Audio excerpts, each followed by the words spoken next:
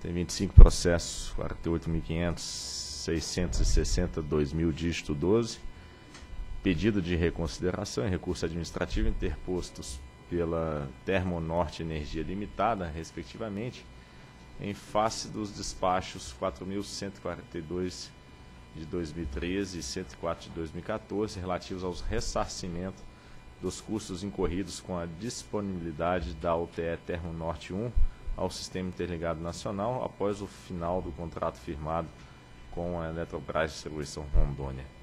diretor relator, Dr. Reive Barros, informa que há pedido de sustentação oral.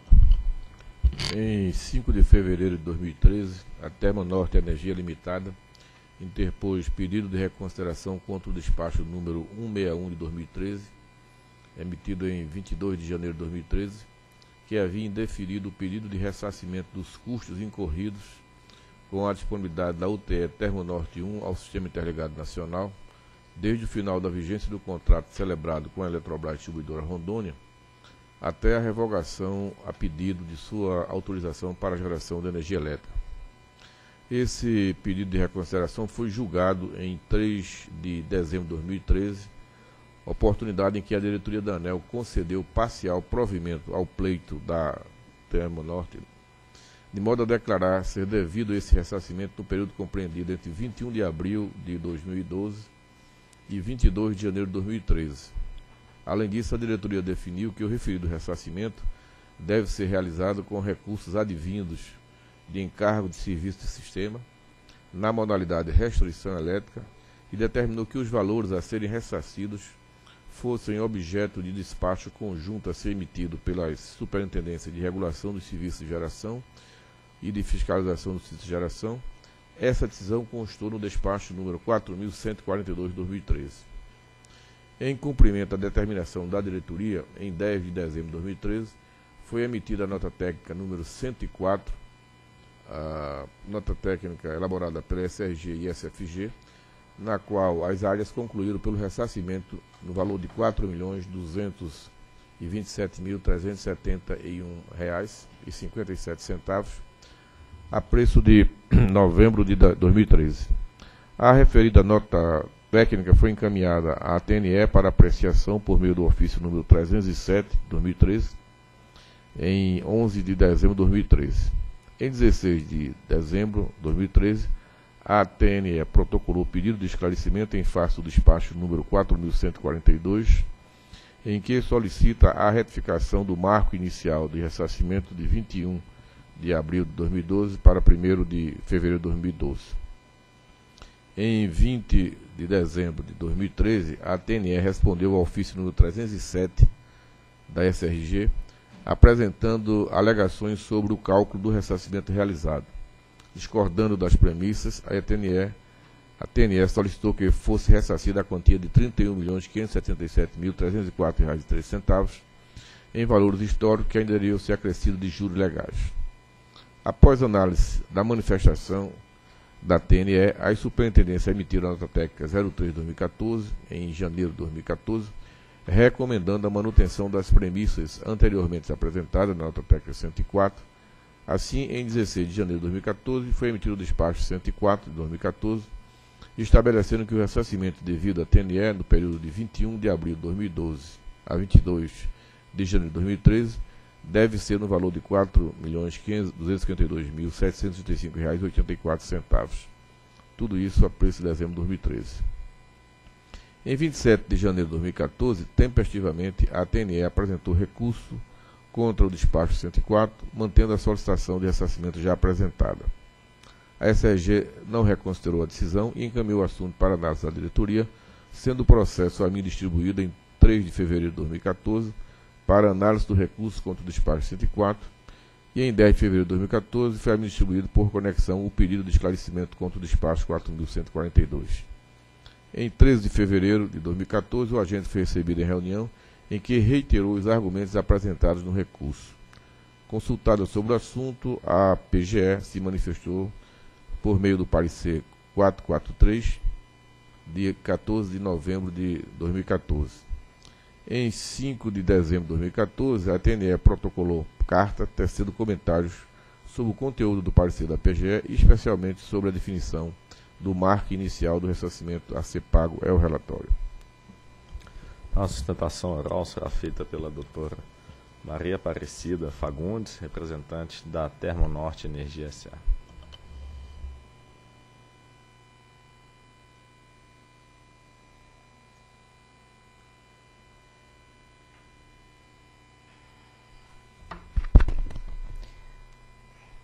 Bem, cumprimento os senhores diretores, uh, o senhor procurador e os demais presentes. As questões que eh, serão uh, definidas agora por essa diretoria giram, como já constou do relatório, em torno da grandeza, da ordem de grandeza do ressarcimento, que já se definiu em decisão anterior, é devido à Termonorte, pela circunstância dela ter mantido a, a, sua, a sua usina Termonorte 1 à disposição do sistema, às próprias custas, quando ela já não possuía mais o contrato de suprimento uh, com uh, a Ceron. E durante, portanto, o período entre o fim deste contrato e a decisão que autorizou a revogação uh, da autorização para exploração da usina. Como está fartamente demonstrado no processo, não é preciso voltar a esse tema, a, Termonorte, mesmo antes do encerramento desse contrato de suprimento, eh, já eh, se movia no sentido de buscar alternativas que viabilizassem financeiramente a sua permanência eh, à disposição do sistema. Mas por uma série de circunstâncias particulares que estão no processo, nas notas técnicas, ela não logrou êxito nessa, nessa busca de alternativas. E não lhe restou outra alternativa senão pedir a revogação da autorização uh, e o ressarcimento pelos custos incorridos e a incorrer enquanto a, uh, essa revogação não viesse a ser uh, autorizada. Bom, ah, essa matéria, esse assunto, ele está sendo decidido em etapas. Então, é, numa primeira decisão que foi proferida em janeiro de 2013, foi autorizada a revogação da autorização, mas foi indeferido o pedido de ressarcimento. A Termonorte recorreu e, no final de, de, eh, de 2013, em dezembro de 2013, o seu pedido Uh, foi acolhido, a, a, a diretoria a, entendeu que cabia o ressarcimento, numa decisão de dezembro de 2013, sendo proferido o despacho uh, 4142, referido no relatório. Uh, só que a diretoria definiu que o período para apuração desse ressarcimento se estenderia de 21 de abril de 2012 a 22 de janeiro de 2013 uh, 21 de abril de 2012, porque seriam 30 dias após o pedido de revogação da autorização. E 22 de janeiro de 2013, a data em que a diretoria decidiu pela revogação. Bom, uh, e, além disso, a diretoria, uh, foi até o voto vista do diretor-presidente, doutor Romeu, de, determinou que as, as superintendências discriminassem os itens uh, de custo desse ressarcimento, porque, inclusive, se, considera, uh, se, se tratava de uma situação inédita, nova, que demandava uma construção mesmo. Bom, o cerne da resignação da Termonorte consiste exatamente na extensão desse ressarcimento, é, que foi apontado no despacho 104, despacho este é, que materializa o estudo feito pelos superintendentes, conforme determinado pela agência. Nós temos, é, então, aqui, nesse momento, dois, uh, dois pedidos da Termonorte a serem apreciados. Um é o pedido de esclarecimento referente à resolução, a resolução, perdão, ao despacho uh, 4142, pedido de esclarecimento no direito de petição, que foi apreciado pela Procuradoria, é, focado apenas na questão do, do, do, período de cálculo do ressarcimento, e o pedido de reconsideração do despacho 104, atinente aos custos propriamente ditos. Bom, é, como também apontado no relatório, há uma discrepância muito grande, quer dizer, o relatório, aliás, não, não, não aponta o, o valor pedido pela Termonorte. Uh, há uma discrepância muito grande. A Termonorte pleiteou uh, um montante em torno de 31 milhões, uh, e aí 577 mil, enfim, o, o, centavos acrescidos de juros, é, tomando como período de cálculo aquilo que ela considera que é justo, que seria o dia seguinte ao término do contrato de suprimento. É, e depois eu falarei um pouco mais sobre isso, que é o dia 1 de fevereiro de 2012, até a data da publicação da resolução que autorizou a revogação.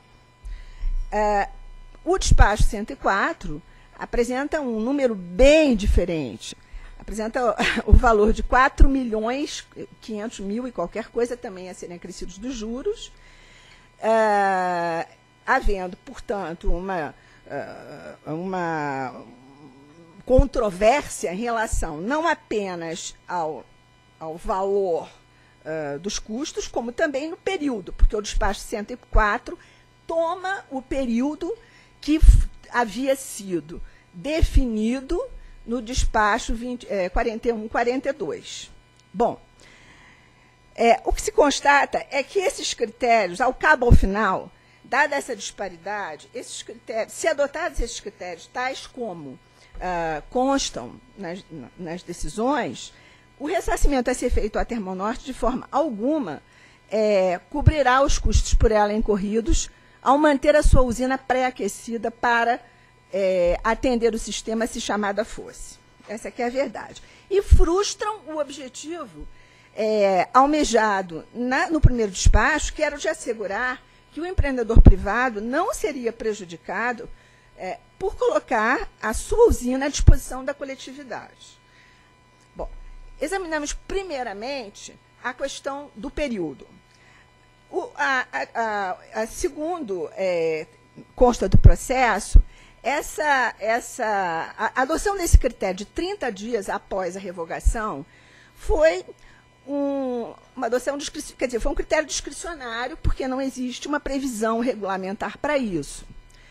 Mas a dúvida que fica é a seguinte: por que a partir da revogação? E se a Termonorte não tivesse usado de uma faculdade, porque era a faculdade dela, de pedir a revogação? Ela não teria direito ao ressarcimento? Então, esse critério, é, falta lógica o critério. Ela poderia não ter pedido a revogação, ter ficado lá estoicamente até o dia que dissessem, olha, não precisamos mais dessa usina. Aí ela não ia ter direito? Então, é, parece, ao juízo da Termonorte, que não esse critério é um critério é, é discutível. Né? É, obviamente, os diretores vão se pronunciar sobre isso. É, com relação ao, ao prazo ao, ao inicial, eu já apontei aqui que o, o, justo seria a partir do momento em que ela ficou às próprias custas, 1 de fevereiro de 2012, mantendo a usina. E o prazo final seria não o dia que a ANEL, aqui na diretoria, decidiu é, que a autorização seria revogada, mas o dia em que foi publicada essa resolução, porque isso é que torna público o ato. Enfim, esse é o ponto em relação ao, ao período. Agora vamos ver os itens de custo. Em relação aos itens de custo, esse assunto foi bem esmiuçado nas notas técnicas re, uh, mencionadas no relatório do Dr. Reive. Mas o ponto crucial é o seguinte: as notas técnicas elas partem do princípio de que se a, a Termonorte utilizou os parâmetros do contrato, já que, já que não existe literatura sobre o assunto, como anotam as próprias notas técnicas. E, e não existe regula regulação, que, aliás, o doutor uh, Rufino até recomendou que fosse feita uma regulação na ocasião do julgamento anterior. Já que não existia isso, o que, que a, a Termonorte fez? Ela adotou os parâmetros do, do contrato que ela tinha com a Seron. Ao ver da área técnica da ANEL, isso implicaria num ressarcimento maior do que o devido porque, com a extinção do contrato, os riscos seriam menores. Os riscos de é, é, penalidades por disponibilidade de potência é, e riscos associados seriam menores. No entender da Termonorte, é exatamente o oposto. Porque no contrato, a Termonorte não tinha risco de logística de combustível. O combustível era todo ele é, suprido, fornecido pela Ceron. No momento em que ela ficou à disposição do sistema, por determinação do ONS, né, do, do, do, Ministério, enfim, é, de todos os órgãos, a agência, ela passou, os riscos recrudesceram, porque ela passou a arcar com esses riscos. E, além desses, claro, com os riscos de indisponibilidade. Se ela estava no sistema pra, por, por razões de segurança e confiabilidade, claro que os riscos dela eram imensos, enormes. E contra a vontade dela, não era um desejo dela estar ali, estava porque pediram e determinaram. Então, esse é um ponto importantíssimo, a questão dos riscos.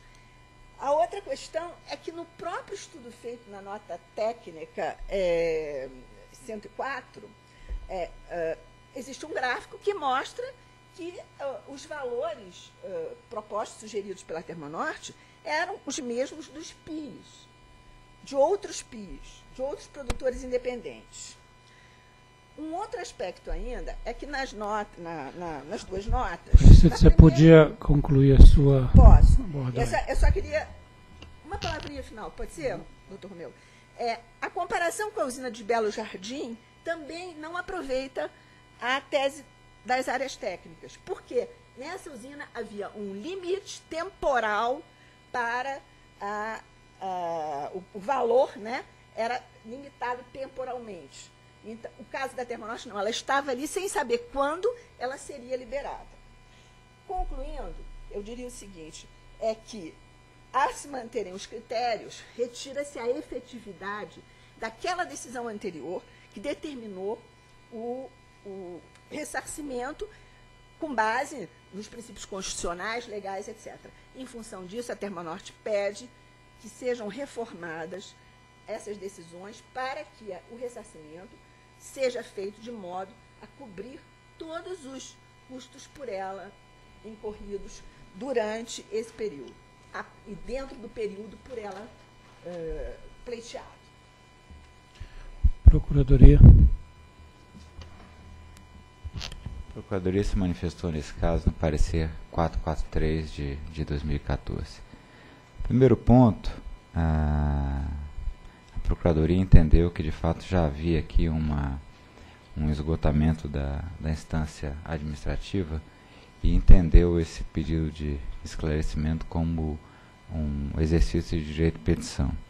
E na medida que é um exercício de direito de petição, aqui essencialmente se avalia a legalidade dos, dos, dos pontos colocados, essencialmente à luz da decisão já tomada. Em relação ao prazo para ressarcimento, é, isso já tinha sido até objeto de exame anterior.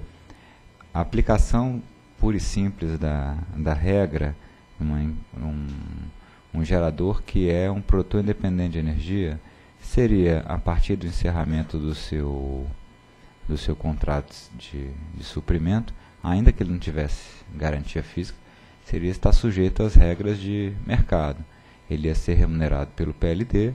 Bom, se o PLD, eh, se o seu CVU eventualmente fosse eh, menor do que o seu custo efetivo, teria que fazer um, um, pedido de alteração do seu CVU, como acontece com qualquer outro gerador. E se entendesse que esse mecanismo era insuficiente para a sua remuneração, que se pedisse a revogação da, da autorização, a gente não é obrigado a permanecer como agente regulado foi o que efetivamente aconteceu.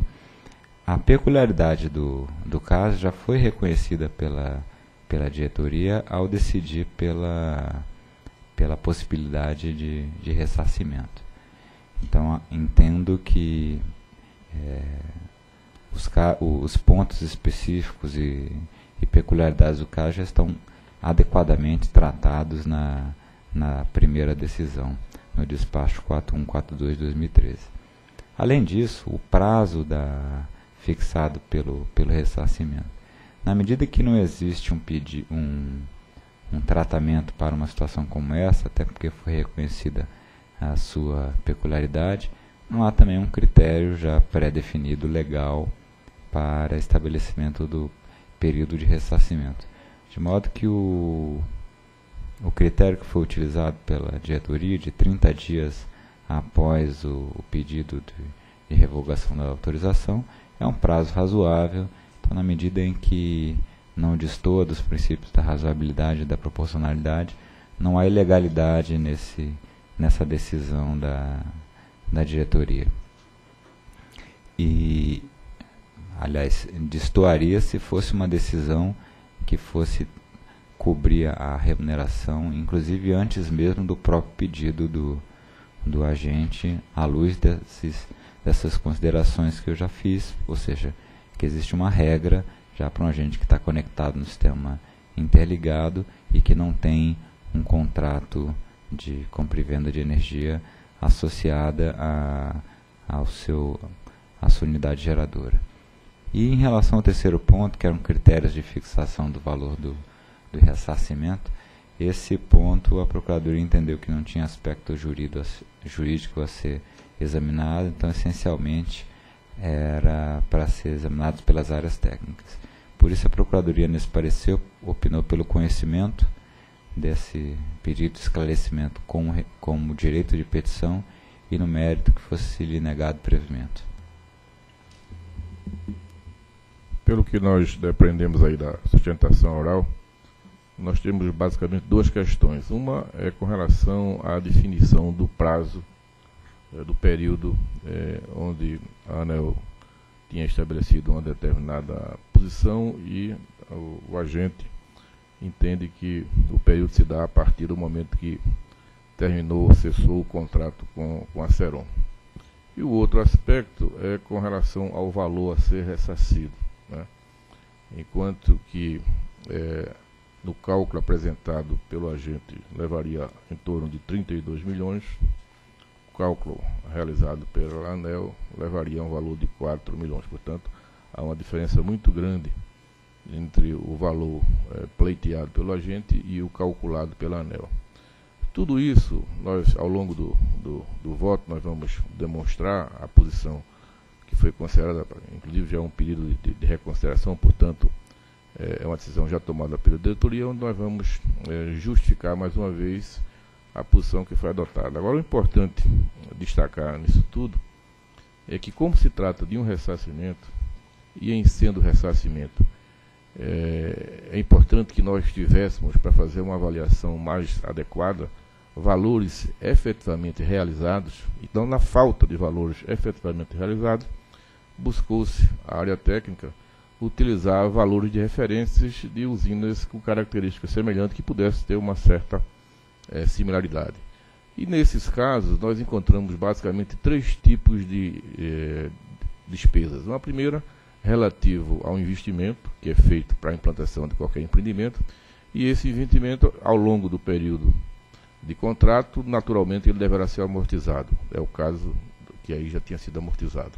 Outra parcela que a gente considera seria a parcela de operação e manutenção, e, finalmente, a terceira parcela, que seria a parcela dos custos efetivamente realizados no momento que a usina está em operação. Se a gente elimina o primeiro, porque o investimento já foi amortizado, e o último, porque a usina não operou, consequentemente resta os valores incorridos é, de operação e manutenção, onde a área técnica buscou uma referência de uma usina que foi licitada, consequentemente é uma referência que pode ser utilizada.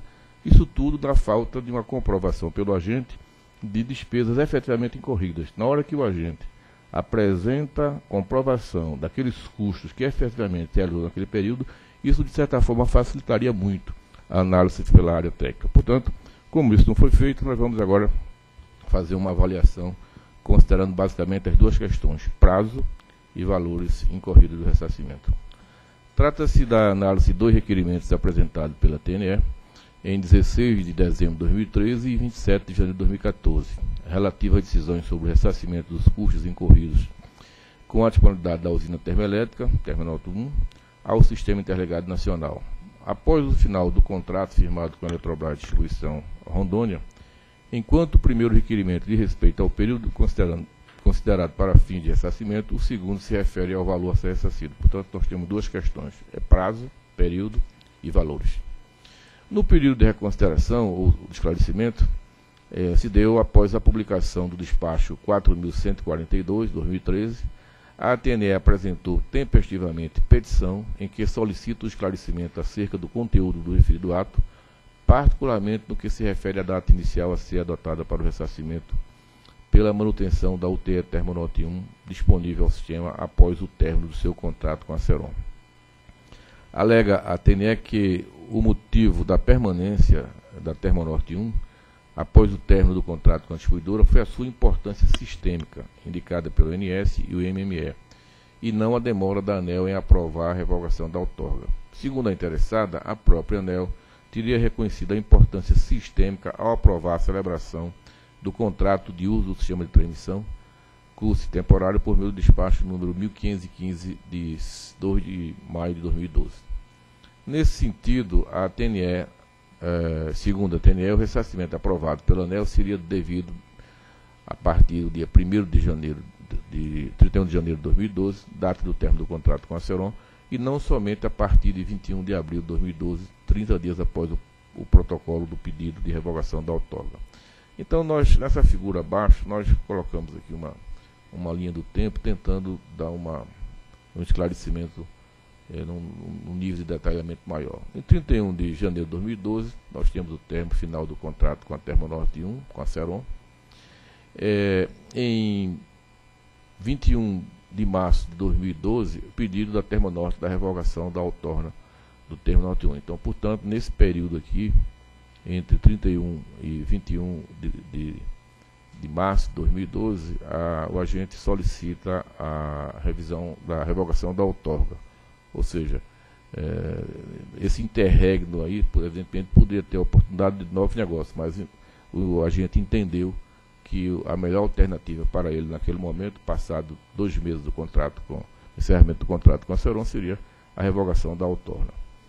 É, a partir de 20, 21 de abril de 2012, é o início do período de ressarcimento do despacho, e aí isso vai até a decisão da ANEL em revogar que ela só se deu no dia 22 de, na reunião do dia 22 de janeiro de 2013, portanto, essa é a decisão colegiada, mas a decisão oficial se dá a partir da publicação da resolução no dia 30 de eh, janeiro de 2013, portanto, dois dias, oito dias a mais em relação ao que foi decidido pela diretoria e o que foi efetivamente publicado no Diário Oficial. Quanto à admissibilidade desse período, desse pedido, verifica-se que o mesmo tem como objetivo alterar a decisão adotada no despacho 4.142 de 2013, que já foi proferida em fase recursal. Contudo, com base no artigo 5 do inciso 34, é, a linha A da Constituição Federal, a TNE entende caber um esclarecimento quanto ao termo inicial para o cálculo do citado ressarcimento. Primeiramente, nota-se que não há falta de clareza na decisão proferida no despacho 4.142 de 2013 a decisão sobre os marcos inicial e final do período de ressarcimento foi expressamente enunciada e motivada por escrito pelos diretores Edivaldo Santana, que foi o relator do processo, e o, diretor Romeu Rufino, relator do voto vista, não sendo aceitável a alegação de dúvida sobre a intenção da agência ao definir o marco inicial do período de ressarcimento em 21 de abril de 2012. Assim, não havendo necessidade de esclarecimento, o que realmente pretende a TNE é que o mérito da questão volte a ser apreciado pela diretoria. E nesse contexto, apesar da decisão do despacho número 4142 de 2013 ter sido proferida já em fase recursal, observa-se que o despacho 161 de 2013, por meio do qual foi tomada a primeira decisão sobre o ressarcimento, não tratou expressamente do período de sua aplicação. Durante a discussão realizada na reunião pública de 22 de janeiro de 2013, quando foi aprovada a publicação do despacho 161, até foi debatido entre os diretores o motivo do eventual ressarcimento, prevalecendo o entendimento que o ressarcimento, caso ocorresse, seria em decorrência da demora na apreciação do pedido de revogação da autorização pela ANEL e não pela importância sistêmica da usina informada pelo INS. Contudo, como o próprio ressarcimento não foi aprovado naquela ocasião, não houve decisão de primeira instância sobre o período de ressarcimento. portanto, considerando que a decisão sobre o marco inicial do período de ressarcimento, de fato, foi tomada uma única vez pela ANEL, é possível entender que, como a relação a esse ponto específico, ainda cabe analisar um pedido de reconsideração. Esse entendimento, somado à manifestação favorável da PGE através do parecer 443 de 2014, de que o pedido da TNE merecia ser apreciado, mesmo que como exercício direto de petição autônomo, e conduz à reapreciação do mérito da questão. A definição da data inicial em que o ressarcimento é devido passa pela avaliação sobre os motivos pelo qual o ressarcimento foi concedido. E, nesse sentido, se o motivo do ressarcimento foi a necessidade sistêmica da usina, tal necessidade existia desde o final do contrato da UTE Termonorte 1 com a Ceron, sendo o ressarcimento devido desde o dia seguinte a tal data. Por outro lado, caso o motivo do ressarcimento tenha sido a demora da ANEL em liberar o agente das obrigações previstas em sua outorga, dentre as quais manter a usina à disposição do sistema, o ressarcimento é devido somente pelo período em que a agência demorou em revogar a outorga após a solicitação. Portanto, são as duas questões que estão sendo analisadas. A TNE citou, nas suas manifestações, algumas declarações de diretores extraídas das discussões realizadas na deliberação do processo, favoráveis à sua tese, da necessidade sistêmica da permanência da usina. Porém, essas declarações perdem muito do seu sentido quando isoladas do contexto. Ao ouvir a íntegra das gravações dessas reuniões, fica claro que o entendimento dos diretores foi que, sem prejuízo da importância sistêmica manifestada pelo INS e pelo MME, essas manifestações não foram determinativas para a permanência da usina em operação e não impediu a revogação da autorização solicitada pela é, TNE, o que mostra um conflito entre a necessidade sistêmica, a solicitação da revogação e a autorização da ANEL é, da, da, revogação da, da, da. Assim, o despacho 4.142 de 2013 foi emitido com base em firme entendimento entre os diretores de que o ressarcimento se justificava em razão do tempo excessivo utilizado pela ANEL para apreciar o pedido de revogação da outorga apresentado pelo agente, o que justificou a definição do marco inicial do período de ressarcimento um mês após o agente, é, após o protocolo do pedido de revogação. Nota-se que não somente a demora na revogação da outorga motiva o ressarcimento, mas sim a demora ocorrida em um período em que a geradora não teve condições de comercializar sua energia, como será explicado logo adiante. Para aprofundar a questão, foi reanalisada a documentação inserida nos autos do processo, em que consta a manifestação do ONS sobre a importância sistêmica da UTE Termo Norte 1 e o encaminhamento dessa manifestação pelo MME ANEL ocorridas em janeiro de 2012. Diferentemente do que alega a TNE, tais manifestações não representaram por si só uma obrigação de permanência da usina em operação. Tanto é que a própria TNE, ao não conseguir viabilizar a cobertura dos custos operacionais da planta em março de 2012, solicitou à ANEL a imediata revogação da autorização para poder efetuar, efetuar o desligamento da usina. Ou seja, o fato de não ter novos negócios, é, os custos incorridos com a manutenção da usina, era mais é, viável do ponto de vista do agente, do ponto de vista econômico, que fosse feita a revogação. E assim ela fez através uma solicitação à ANEL. Evidentemente, qualquer decisão válida pela permanência de uma usina em operação deveria endereçar a origem dos recursos para custeio da disponibilidade dessa usina, o que não foi feito nem pelo INS nem pelo MME, que sequer emitiram decisão. Apesar do pedido, o MME não prorrogou a vigência da garantia física, portanto a usina não tinha garantia física e que estava atrelada à vigência do contrato com a Ceron. Sem fonte de recursos, a situação da UTE Termonorte 1 se agravava pela inexistência de garantia física válida, o que impedia de comercializar a energia. Essa dificuldade foi retratada pelo diretor Edivaldo Santana no voto apresentado no dia 29 de outubro de 2003. Aí tem lá o texto do, do voto do diretor Edivaldo.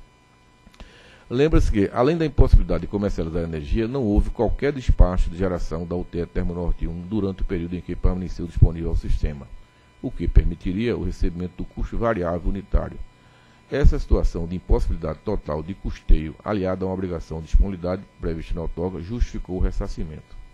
Assim, a alegada necessidade sistêmica da usina, embora indicada por órgãos do setor como o NSME, não foi um fator determinante para a manutenção da UTE Termo Norte 1 em operação por quase um ano após o seu pedido de revogação da autorização. O que reforça o entendimento é que em janeiro de 2013, quando a ANEL revogou a autorização da UTE Termo Norte 1, e mesmo depois o ONS ainda manifestava a ANEL a preocupação quanto à maior disponibilidade de geração hidráulica e térmica para o sistema Acre-Rondônia, na carta do ONS 0140, de 31 de janeiro de 2013, eh, o ONS chegou a sugerir que a ANEL reavaliasse o momento mais oportuno para a revogação da outorga da UTE Termo Norte 1, e nem mesmo assim, e mesmo assim a revogação foi mantida. É natural que o ONS, na busca por garantir máxima segurança no fornecimento de energia elétrica na região, tenha apontado a importância da usina. Mas todo o serviço prestado envolve um custo relacionado que não foi objeto de avaliação pelo operador, e isso nem era de sua competência. Apesar dos pedidos do agente, nenhum órgão MME, CMSE, etc., fez essa avaliação no momento em que se encerrava o contrato da usina com a distribuidora, ou, se fez, não emitiu qualquer ato determinando expressamente a permanência da usina. Essa avaliação acabou sendo realizada pela ANEL, que decidiu pela revogação da autorização com o consequente desligamento da UTE Termonorte 1. Assim, embora a ANEL reconheça a relevância das manifestações do INS e do MME sobre a importância sistêmica da UTE Termonorte 1, seu vínculo com a permanência da usina em operação não foi determinante, não sendo tais manifestações suficientes para justificar a antecipação do período de ressarcimento. Caso essas manifestações realmente fossem determinantes para a permanência da usina em operação, sequer a revogação da outorga deveria ter sido realizada pela ANEL, dado que a manifestação do S foi reiterada mesmo após a revogação e muito menos solicitada pelo agente.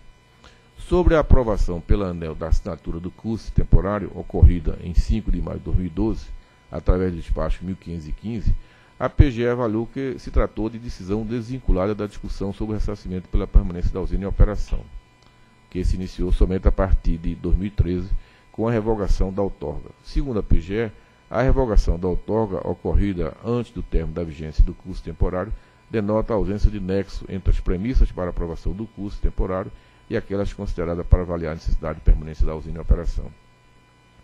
Muito embora, conforme o parágrafo 4 do inciso 1 da Resolução Normativa 399-2010, a contratação de uso do sistema de transmissão em caráter flexível ou temporário representa uma validação da ANEL sobre a importância sistêmica momentânea do gerador no sistema interligado nacional, tal aprovação foi restrita ao escopo daquele processo. Isso ocorreu porque, em maio de 2012, ainda estava em curso a análise do pedido de revogação de autorização solicitada pela interessada. Caso, para fim de aprovação do curso temporário, a ANEL tivesse validado em definitivo a importância sistêmica da usina, na mesma ocasião, deveria ter sido indeferido pela ANEL o pedido de revogação de outorga, determinando a permanência da usina em operação e definindo a forma do custeio das atividades da usina. Assim, o fator que, sem sombra de dúvida, foi determinante para a permanência da usina à disposição do sistema foi a outorga, que ainda estava em vigor, cujo pedido de revogação demorou cerca de 10 meses para ser julgado. Essa condição, associada à obrigação de manter as instalações de geração disponíveis, porém sem indicação de fonte de recursos para tanto, é o que justifica o ressarcimento. Por isso, ainda que não tenha ocorrido nenhum despacho de geração para a usina durante o tempo em que permaneceu disponível, em razão da disponibilidade da UTE Termonorte 1 em funcionamento, até a sua revogação da outorga, a diretoria entendeu merecido o ressarcimento. De forma coerente com o real motivo do ressarcimento, somente o período de demora da administração em deliberar sobre o pedido de revogação da outorga deve ser considerado no cálculo. Portanto, concordo com o marco inicial de ressarcimento definido pelo despacho 4.142, um mês após o protocolo do pedido de revogação da autorização. Esse período de um mês decorre do tempo entendido como minimamente necessário para que a agência analisasse o pedido de revogação de autorização. Portanto, entendo pertinente negar provimento ao pedido de reconsideração apresentado pela TNE, de forma a manter o marco inicial que já foi aprovado pela ANEL. Adicionalmente, embora isso não conste no pedido de reconsideração de esclarecimento da ETNE, posteriormente no âmbito da discussão sobre o valor do ressarcimento, a ser tratado logo em seguida pelo voto, a ATNE apresentou seus cálculos considerando o marco final do período de ressarcimento em 30 de janeiro de 2013, alegando que essa foi a data que foi publicado no despacho do, do qual nós concordamos.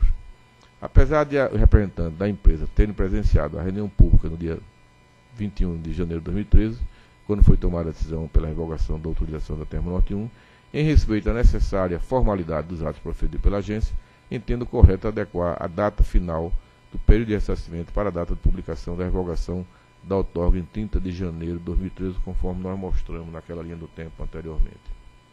Agora vamos à segunda questão. É, esclarecida a questão dos prazos, vamos agora a, analisar a questão do, do valor calculado, é, o valor solicitado pelo agente e o valor calculado pela nossa área técnica. Mediante o despacho número 104, a SRG e SFG estabeleceram um valor de ressarcimento da disponibilidade da UTE Termonorte 1. Em resumo, entenderam as áreas técnicas que a Termonorte 1 deveria ser ressarcida somente pelos custos fixos de operação e manutenção. Essa conclusão decorreu das seguintes avaliações da superintendência. Durante o período de ressarcimento, a situação da UTE Termonorte 1, em termos de obrigações, teria sido completamente distinta daquela inserida durante a vigência do instrumento contratual com a Eletronorte Seron. No período contratual, além das obrigações inerentes à outorga do empreendimento, vigiam eh, obrigações referentes ao contrato que justificavam o recebimento do valor contratual. Com o termo da relação contratual, restaram somente as obrigações decorrentes da outorga do empreendimento. Dessa forma, a metodologia do ressarcimento proposto pela TNE teve como base o último valor recebido na vigência do contrato com a Eletronorte e não seria aplicável, já vista que o valor contratual representa mais do que um mero ressarcimento.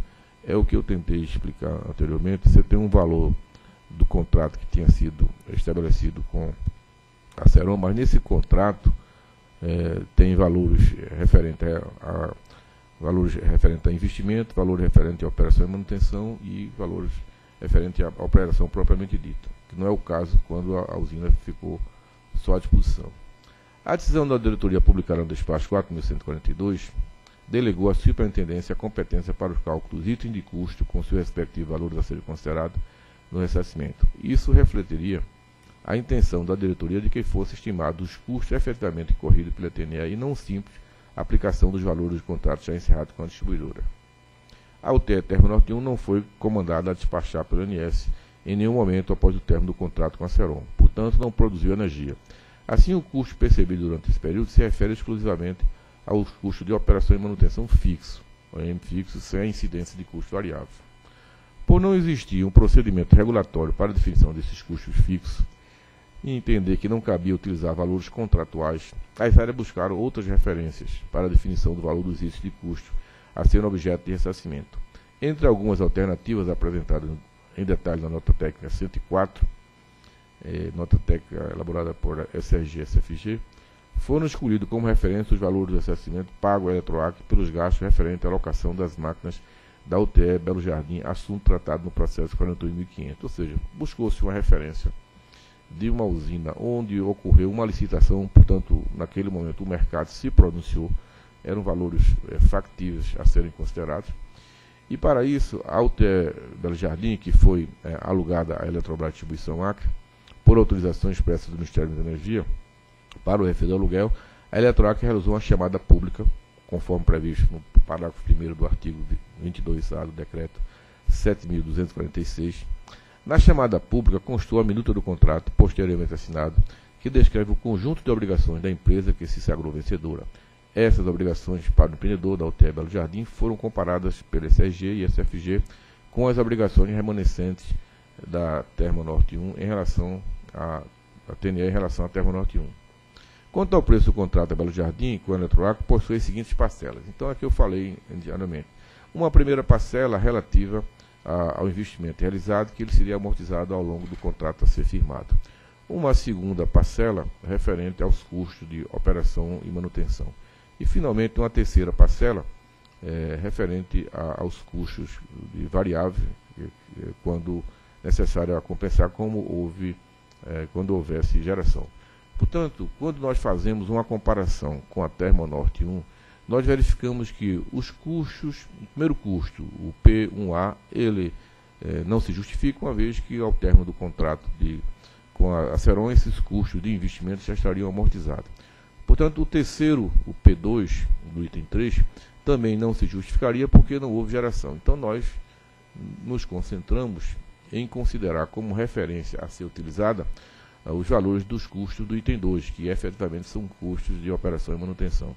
Essa metodologia adotada pela área técnica, ou pelas áreas técnicas, é, facilitou o entendimento e foi possível, a partir daí, na falta é, de um é, esclarecimento, ou pelo menos de uma informação com justificativas e com documentos comprobatórios, nota fiscal, custo de serviço, etc., é, pela falta da apresentação pelo agente, fez com que nós buscássemos uma metodologia que pudesse é, identificar efetivamente que custos poderiam ter sido realizados.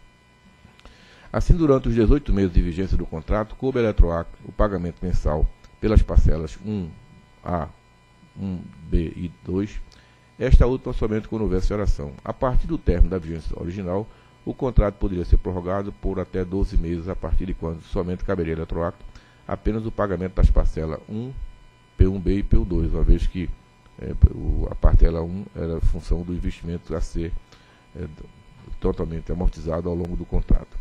Em resumo, a parcela P1 visava recuperar os custos relativos ao investimento na UTE Belo Jardim, Belo Jardim, não sendo mais devida após os 18 meses iniciais da vigência do contrato. A parcela P1B visava recuperar os custos OIM e, por fim, a parcela P2 visava recuperar os custos variáveis, excetuando os combustíveis.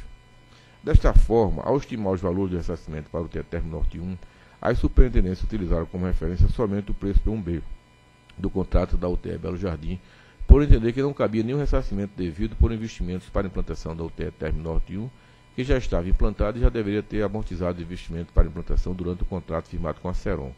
Igualmente foi entendido que não cabia ressarcimento pela geração preço P2, dado que a usina não gerou no período. Após atualizar a parcela P1B do contrato da UTE Belo Jardim e proporcionar os valores à capacidade instalada do Termo Norte 1, as superintendências chegará a um valor mensal a ressarcir de 400 R$ 19.912,29 a preços de abril de 2012.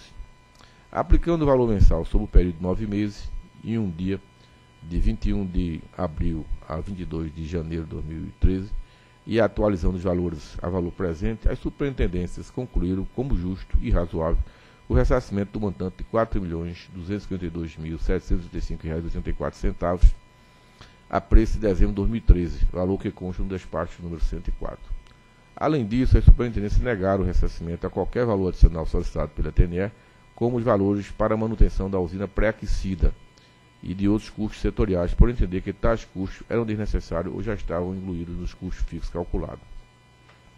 Sobre o índice de atualização monetária, as superintendências não acataram é, o pedido de que fosse utilizada a taxa Selic, por entender que não se aplicava juros remuneratórios ao ressarcimento, mas somente a correção monetária GPM e IPCA com relação ao encargo do sistema de transmissão EUS, que não foi objeto de recurso da TNE. As superintendências registraram que, de acordo com o disposto no parágrafo 4 do artigo 13º da Resolução 399, a TNE poderia ter optado pelo pagamento de encargo somente nos períodos em que a usina tivesse em operação, o que não ocorreu dentro do período de ressarcimento. As razões da recurso da TNE ao, ao despacho 104, é, ela manifesta ser contrária ao procedimento de cálculo adotado pelo CRG e SFG. Segundo a recorrente, mesmo com o término do contrato com a Ceron, a maior parte das obrigações referentes ao término 1 continua existindo, sendo acrescida de outras obrigações relacionadas ao suprimento do combustível e à respectiva logística. Adicionalmente, a recorrente alega, inclusive, a perda de oportunidade de destinar a usina e seus equipamentos a outras finalidades durante o período. Desta forma, recorrente reitera os cálculos apresentados por meio da carta número TNE-DRI 031-2012, emitida em junho de 2012, que utiliza os valores relativos à energia assegurada no contrato da Termonorte 1 com a Ceron, relativo ao mês de janeiro de 2012, mês em que o contrato se encerrou.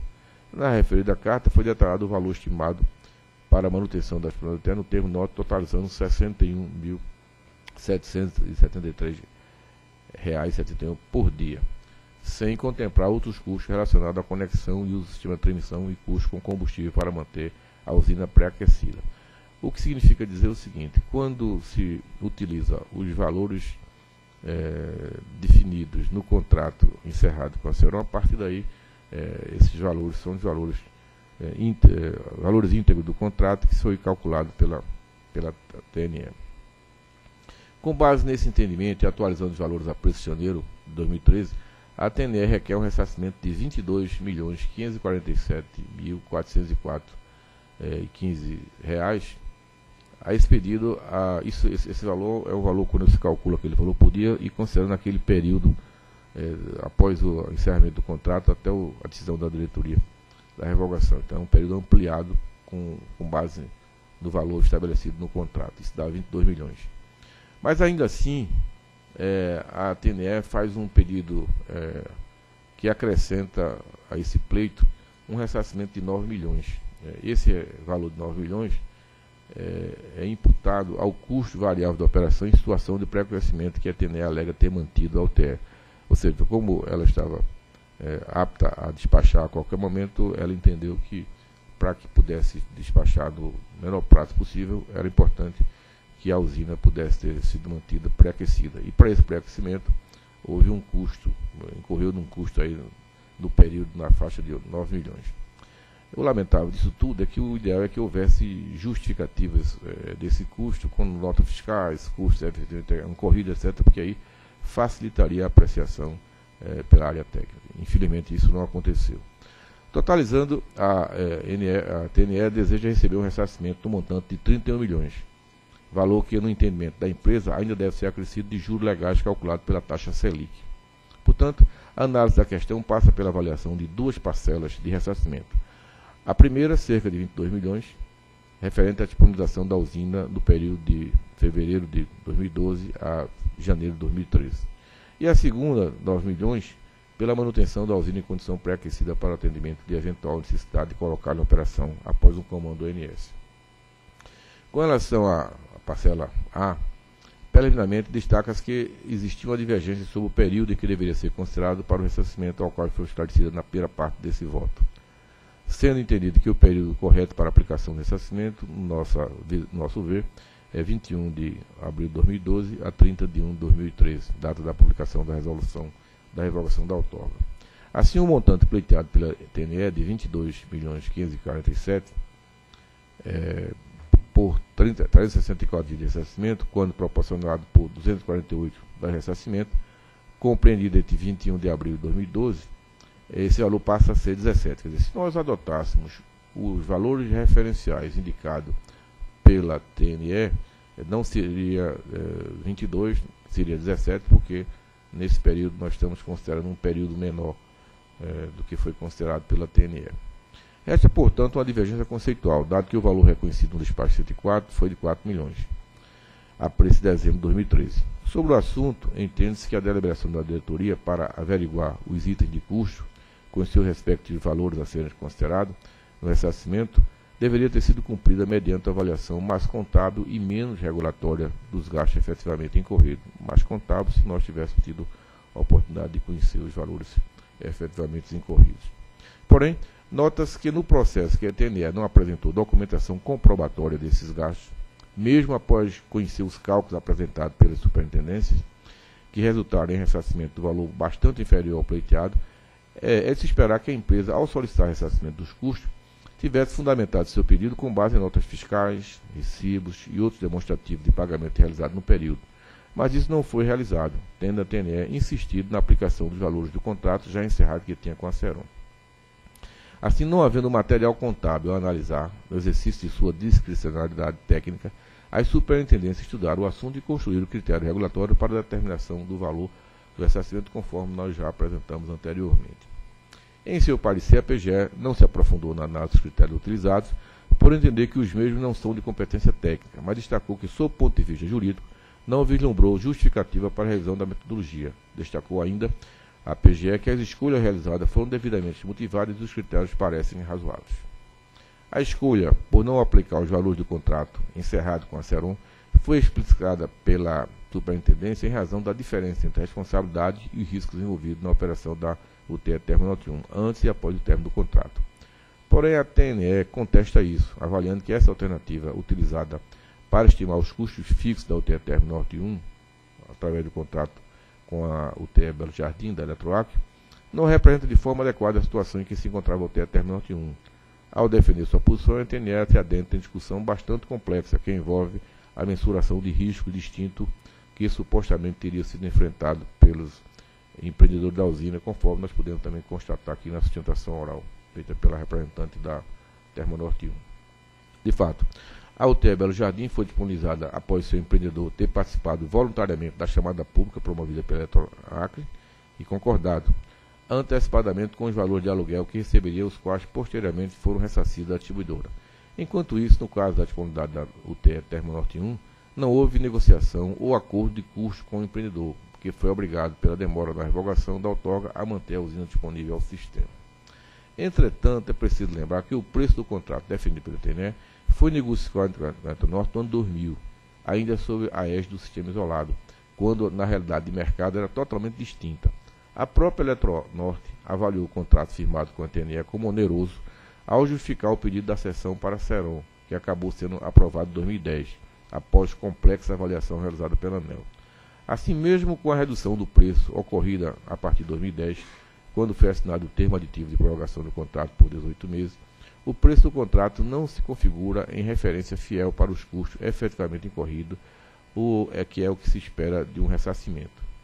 Em contato de minha assessoria com o representante da TNE, foi esclarecido que a referida redução de 35% no preço a partir da prorrogação contratual acordada em 2010 teve relação com o deslocamento para a Ceron das obrigações contratual relativa à ocorrência do Major Overhaul, que são manutenções obrigatórias que ocorreriam caso as eh, máquinas da UTE Termonorte 1 atingissem a marca de 48 mil horas de operação, ao custo de 3,9 milhões por máquina, ou seja, a necessidade de, uma vez terminado esse prazo de 48 horas, fazer uma, uma um reparos substanciais na, nas máquinas. Ou seja, essa redução não se configurou em qualquer posicionamento de preço aos valores de mercado vivenciado na época, ou mesmo a realidade da usina, que na época deveria ter investimento amortizado. Portanto, caso o ressarcimento fosse calculado a partir dos valores de contrato entre a TNE e a Ceroneta Norte, o ressarcimento significaria para a TNE, na prática, uma nova prorrogação contratual a preço negociado em 2000, Lembro que uma nova prorrogação contratual foi proposta pela TNE por repetidas vezes em meados do ano de 2011, com cartas ao INS e à Ceron. A TNE, inclusive, chegou a apresentar uma minuta de termo aditivo mantendo os preços contratuais, sendo a nova prorrogação rejeitada pela Ceron, mediante a carta 088 em 16 de novembro de 2011. Desta forma, além da diferença entre a responsabilidade e o risco envolvido na operação da UTE Termonorte 1 antes e após o término do contrato, que foi identificada pela superintendência, o próprio preço contratual não reflete a realidade da usina no período de ressarcimento, pois ainda compreende os custos de capital investidos que deveriam ter sido amortizados no máximo até o término da vigência original ocorrida em 2010. Assim, descartando o valor contratual como referência para o ressarcimento, resta analisar a adequação da referência proposta pelas áreas de utilização dos valores presentes no contrato da UTE Belo Jardim. E, nesse sentido, o que se observa é que, mesmo que as condições vivenciadas pela TNE ao disponibilizar a UTE Termo Norte 1 e pelo empreendedor da UTE Belo Jardim ao disponibilizar a sua usina, que não, não tem, mesmo que não seja idêntica, não há por que afastar o contrato da UTE Belo Jardim como uma boa referência sobre os custos de mercado que efetivamente era necessário para manter uma usina termoelétrica em operação na mesma época, no mínimo por tudo que comentei anteriormente, a referência escolhida pelas áreas é melhor que a referência proposta pelo TNE. Então, é, uma vez que não existia é, valores contábeis que justificassem aquela é, referência apresentada pela TNE, eu entendo correto a atuação das áreas técnicas no sentido de buscar uma referência. E essa referência foi importante porque a referência também na região norte, e uma referência fruto de uma chamada pública. Quer dizer, o mercado se pronunciou definindo efetivamente o custo que seria incorrido para a implantação de empreendimento de geração eh, termoelétrica. Dessa forma, propõe ratificar os valores de ressarcimento calculados pelas áreas, tendo como referência os valores de contrato da UTE Belo Jardim. Essa é a decisão que entendo ser mais adequada diante das informações e documentos presentes nos autos do processo. Evidentemente que, se tratando de um uso de referência, é natural que exista alguma diferença, para mais ou para menos, entre o valor do ressarcimento calculado pela superintendência e os custos reais incorridos pela TNE na operação de manutenção da UTE Termonorte 1. Porém, o valor só pode ser conhecido mediante uma rigorosa análise contábil das despesas efetivamente verificadas pela TNE durante o período considerado do ressarcimento.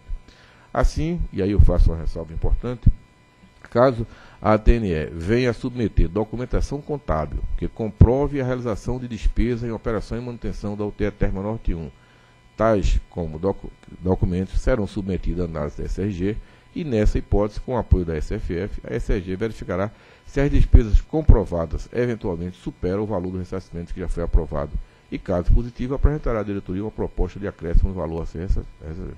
Ou seja, é, é importante verificar que esse valor está sendo aprovado, ou seja, ratificada a aprovação, que já tinha sido aprovado anteriormente, mas se porventura amanhã é, surgir uma comprovação de forma é, contundente, contábil pela TNE, evidentemente que isso poderá ser reavaliado.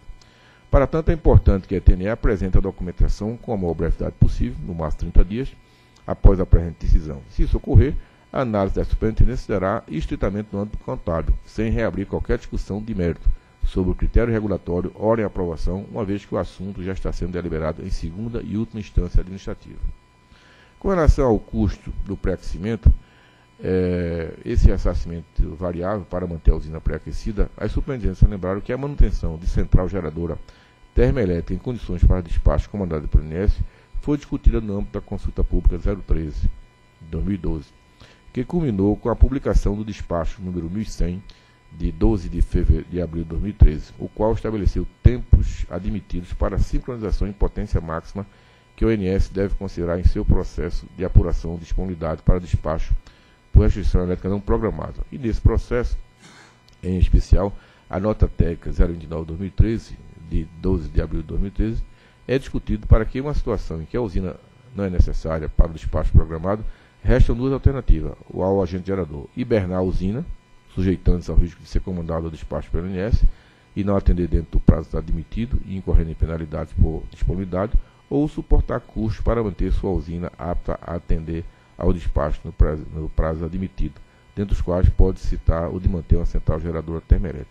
Ou seja, a decisão de hibernar e a decisão de manter a usina pré-aquecida é uma decisão de risco do gerador. Ele vai avaliar, é, dependendo das características da usina, que ele pode partir num prazo menor ou um prazo maior, e a partir daí ele toma a decisão que achar mais conveniente do ponto de vista de análise de risco. A SRG e a SFG entenderam que, caso ao ter Termo Norte 1, o risco da redução dos seus índices de disponibilidade sequer existia, dado que sua garantia física publicada pelo ME não estava vigente para o período. Portanto, a UTE Termonorte não dispunha de lastro para comercialização, não estando sujeito à redução deste lastro, nos termos da resolução normativa 169. E aí eu faço um, um esclarecimento a respeito desse tema. Ainda que a ETNE conteste os recursos que o tempos admitido para a sincronização e potência máxima não seria aplicável no seu caso, pois a alternativa de hibernação vai de encontro aos objetivos que levaram o ONS e o MME a recomendar a permanência da usina, note-se que o tempo de tomada de carga em usina similar era muito reduzido, o que não justificava a manutenção da usina pré-aquecida quando não havia programação de espaço para geração.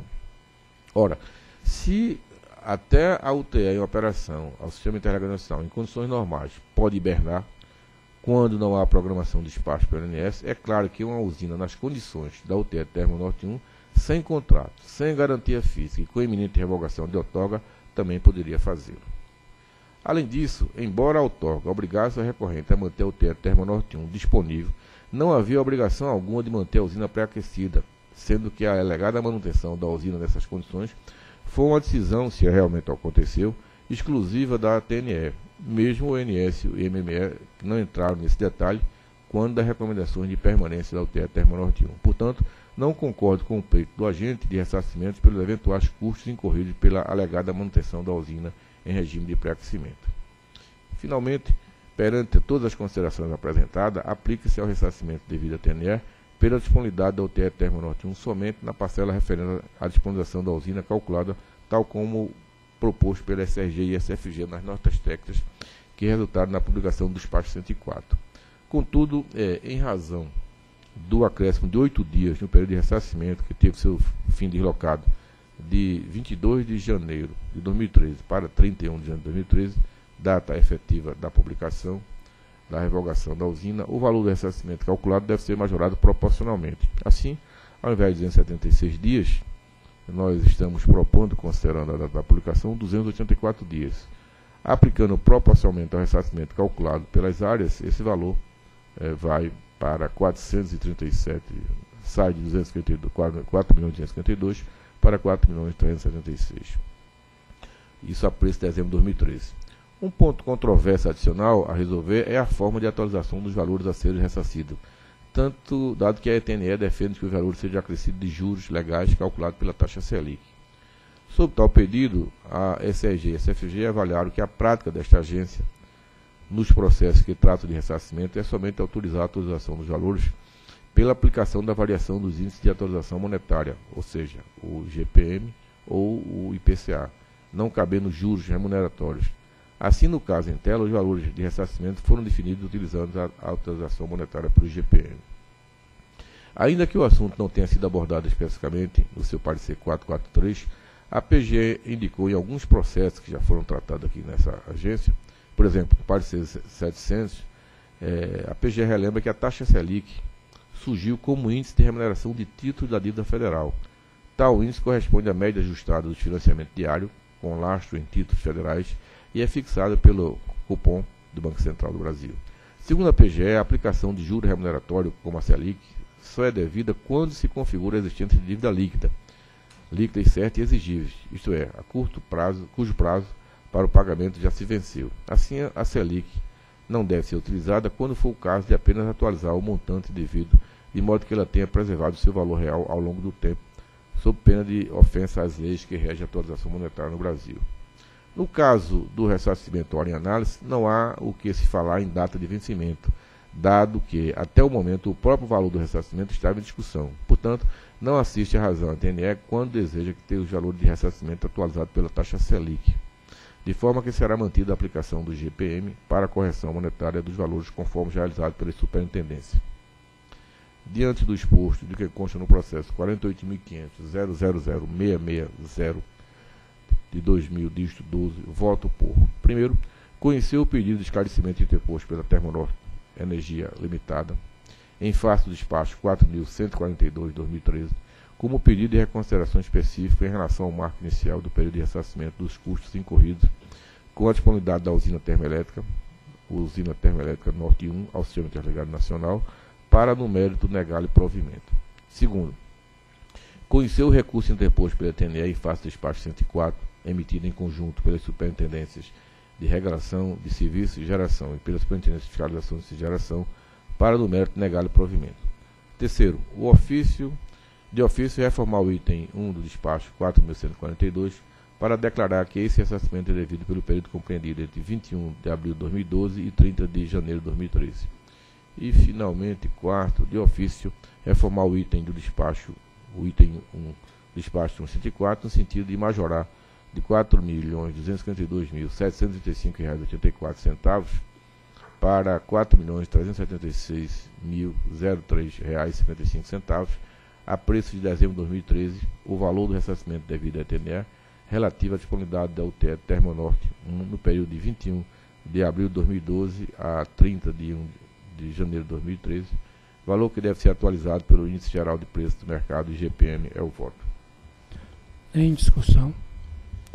Eu fiquei com uma dúvida, é, Rive. Talvez o Fernando Colli possa esclarecer. Aqui, primeiro, durante o voto, você faz menção a possibilidade de apresentação de notas fiscais e no dispositivo não não está é, refletido. E a minha dúvida é relacionada exatamente a esse ponto. Durante a instrução desse processo, é, que já é bastante antigo, que já está em fase de recursão, a ideia original nossa era fazer a abordagem, como o relator fala, mais contábil e menos regulatória, e a TNE foi notificada para demonstrar o, o os custos e não o fazendo, a gente fez a opção pela, pela abordagem eh, comparativa com a Belo Jardim, ou a nossa opção original sempre foi trabalhar com, com valores regulatórios? É, boa tarde a todos. Não, a decisão de diretoria foi só que a área técnica instruísse para que fosse ressarcido custos, de uma maneira geral. Não definiu nem contábil nem regulatório. A área técnica foi para o lado regulatório, fez uma nota técnica e deu para Termonorte se manifestar. Essa foi a abordagem inicial. Não houve uma notificação para apresentação de. Não, de... não houve. Tá. É porque assim, eu vou explicar a minha posição. Se a gente tivesse caminhado originalmente pelo contábil, eu acho que em ela não demonstrando, a gente devia, inclusive, eu votaria por não dar o ressarcimento. O ressarcimento seria um direito que não foi comprovado. É, agora, por uma questão de segurança jurídica, como a abordagem original e toda a instrução do processo, direito a contraditório, foi na abordagem dos custos regulatórios, aí eu acho que a gente acompanha o entendimento da área técnica original, de ofício adequa por uma questão de prazo, que é reconhecido um hiato um pouquinho maior, mas eu acho que não faz sentido em reabrir a discussão para a apresentação da nota fiscal. Acho que a gente encerra isso aqui e aí no dispositivo não está refletido. Agora, assim, essa seria a minha posição. Então, é, eu não sei se. É, eu, eu, concordo, Tiago, com, com, a sua posição, porque, veja só, é, considerando que o, o, razoável, se realmente esses custos é, foram incorridos, e foram incorridos custos, o que a gente não tem é a, é a, é a certeza do, do, valor que realmente isso aconteceu. Então, na falta de uma apresentação, eu não tenho dúvida nenhuma que se esses custos fossem superiores aos valores calculados, é, por uma questão de, de, de, sobrevivência, o agente já teria apresentado. Isso eu não tenho dúvida nenhuma. Portanto, é, como nós eh, fizemos, na falta dessa informação, então a decisão que foi adotada pela área foi no sentido de buscar uma, uma referência é, regulatória que pudesse ter uma característica semelhante. Agora, concordo com você, quer dizer, na hora em que isso, se a linha de raciocínio foi essa, eu, eu imaginei até que pudesse atenuar e criar uma oportunidade, mas eu não tenho problema, a gente retiraria esse, esse, esse aqui. É, eu, eu até, você já concordou, mas eu penso da mesma forma. É válido, claro, a linha de, do custo, mais olhando o realizado contábil, como você chamou. Mas primeiro que é extremamente difícil você fazer uma verificação. Primeiro da comprovação e segundo da, da vinculação pela utilização. Né? É muito difícil isso. Né? Então, eu acho que a gente, em casos não iguais, não tivemos outros, mas em situação similar, que a gente tem que reconhecer algum custo, a gente sempre adotou a linha é, do custo regulatório, porque eu acho que ele é o mais é, apropriado, vamos dizer assim. E nesse caso, que nós já percorremos toda essa trajetória nessa discussão, talvez real, é, abrir essa possibilidade agora, né, na linha que, que Tiago e você está refletindo, parece que é, realmente não é oportuno. Né? Então, é, aí, de fato, como o dispositivo nem está refletindo isso, aí se, claro, o voto é seu, mas se você estiver de acordo, talvez suprimir o voto para não ficar. Claro, eu estou de acordo, Tiago. Obrigado pela observação. Mas eh, parabéns, assim, que você foi realmente exaustivo aqui na, na questão, ainda que seja uma uma oportunidade de revisitar o tema, mas eu acho que você fez uma abordagem em todos os tópicos realmente de uma forma bem, bem exaustiva. Ok? Então, em votação. Eu voto com o relator. Também voto com o relator. Também voto com o relator. Também voto com o relator. Proclamo então que a editoria decidiu por conhecer pedido de esclarecimento interposto pela Termonorte Energia Limitada, TNL, em face do despacho 4.142-2013, como pedido de reconsideração específica em relação ao marco inicial do período de ressarcimento dos custos incorridos, com a disponibilidade da usina Termonorte é, do 1 ao Sistema Interligado Nacional para, no mérito, negar-lhe provimento. Também conhecer o recurso interposto pela TNE em face do despacho 104-2014, emitido em conjunto pelas Superintendências de Regulação de Serviços de Geração e de fiscalização do serviço de geração, para, no mérito, também negar-lhe provimento. É, de ofício, reformar o item 1 do despacho 4.142-2013 para declarar que esse ressarcimento é devido pelo período compreendido entre 21 de 4 de 2012 e 30 de 1 de 2013. Aqui é só para ajustar a data da decisão e da publicação, né? para refletir a publicação. Né?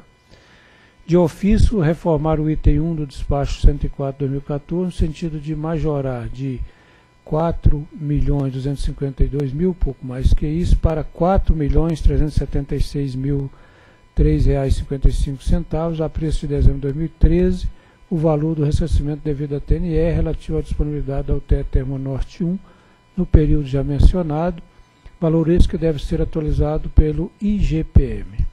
Próximo item.